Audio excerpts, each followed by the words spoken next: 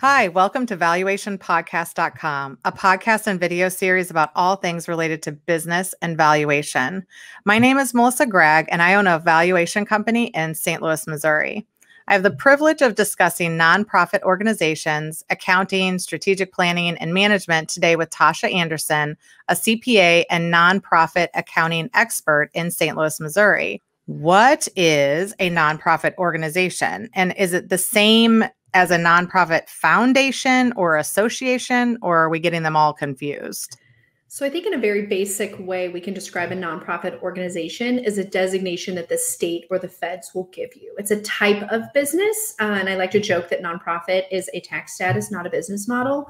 But that's really what it is. It's really just a tax status, much like you might consider a C corporation or an S corporation, a partnership a sole proprietor. And underneath the title of nonprofit organization, you will actually have different types of businesses, including foundations, associations, or what a lot of people think about nonprofit organizations are those that fall under the 501c3 that are public charity. But you might also, underneath that, have different things that um, you might not think about. So, for example, churches or houses of worship could technically be a 501c3.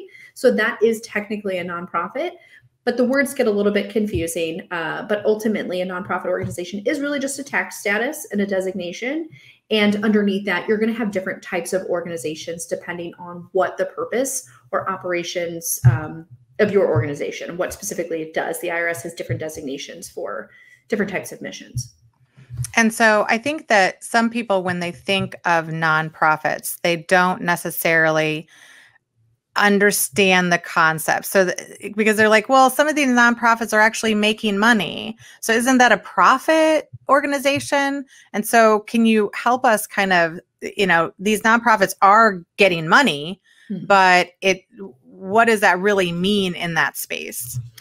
I get that question a lot. A, lot of times from donors, should they be making a profit or have surpluses at the end of the year? And also from founders or CEOs of a nonprofit, how much profit should I be able to make? How much should I be able to retain? And frankly, especially now uh, in this economic uncertainty, many of my clients have fared, I would say, better than other types of small businesses, for example, restaurants, because they are encouraged and it is best practices to operate at least for a period of time with a surplus to build what we call a reserve.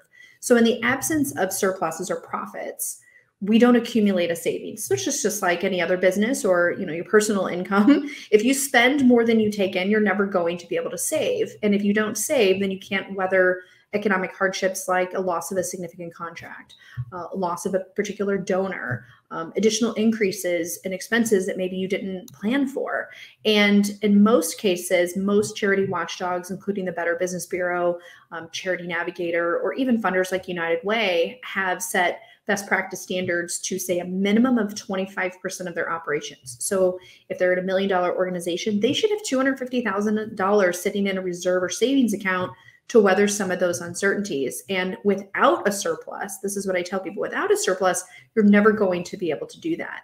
And interestingly, um, I did an entire analysis earlier this year in response to some of the economic volatility uh, with either the stock market or just in general. And most of my clients, I had about 65 clients at the time, and I think all but 10 had an excess of 90 days of cash. And frankly, I don't know that many small businesses that operate in that way. And although we did experience hardships with loss of funding or the volatility with the stock market for those organizations that have investments, but because they had that savings account, they were able to retain staff they were able to continue programming in spite of temporary losses in funding, which which has been really great. Which has been a really important piece of this, you know, going through this kind of economic cycle, if you will.